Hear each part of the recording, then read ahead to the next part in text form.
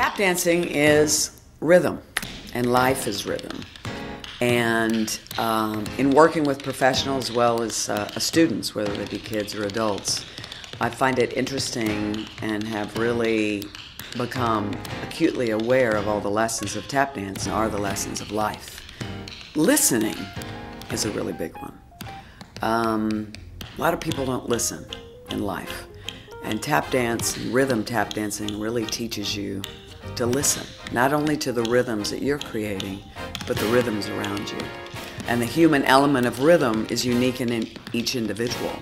And finding that common, that common balance of time is really, in my opinion, one of the secrets of life, is finding that inner rhythm in all of us.